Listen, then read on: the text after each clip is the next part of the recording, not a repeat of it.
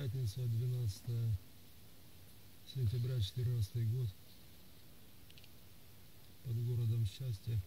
Минут 10 назад рядом рванула мина. В связи с чем мы